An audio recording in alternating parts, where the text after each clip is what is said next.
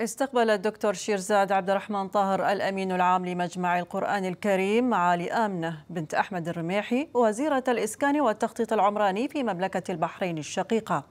حيث قدم الأمين العام شرحا مفصلا عن المجمع والدور الذي يقوم به في خدمة علوم القرآن الكريم وتاريخه مصطحبا الوفد في جولة بمتاحفه وأروقته.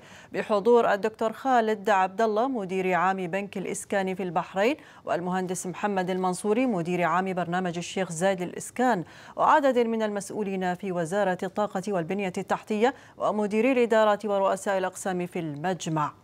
وخلال الجولة أكدت وزيرة الإسكان والتخطيط العمراني في مملكة البحرين أن المجمع يعد صرحا معرفيا وعلميا بمتاحفه ومخطوطاته ومقتنياته التي ترفد المكتبة الإسلامية والعربية بعلوم شتى منها منها القصص الكونية والمخطوطات النادرة والعلوم المتعلقة بإعجاز القرآن الكريم.